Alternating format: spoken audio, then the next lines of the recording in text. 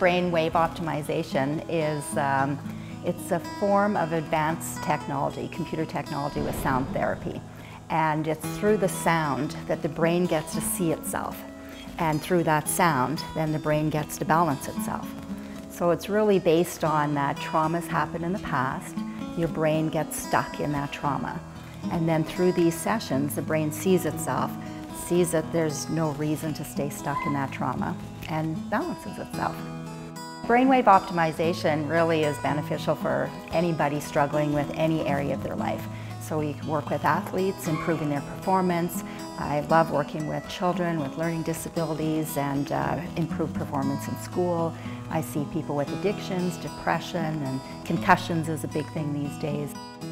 The first time I went to what I call brain training um, was, I guess, about, uh, it must be about a year and a half ago.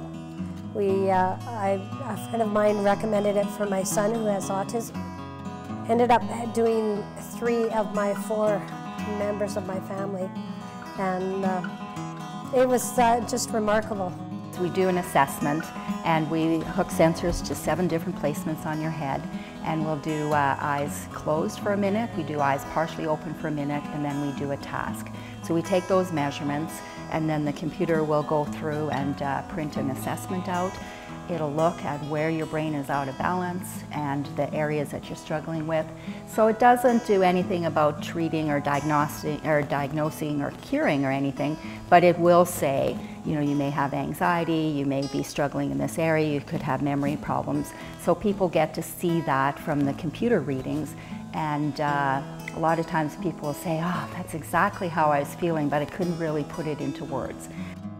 It is something that uh, I recommend to any families with kids with you know, learning disabilities of any sort. This is something, when you balance the brain, it, all the anxiety leaves. It just becomes a real they're happier, and, and that's what we want for our kids. I'd love to see it being mainstream, like everybody, you know, just saying, hey, I'm going to get my brainwave opt or my brainwave optimization done today, and uh, you know, I'd like to see it as mainstream as chiropractic or any other holistic um, treatments that are out there.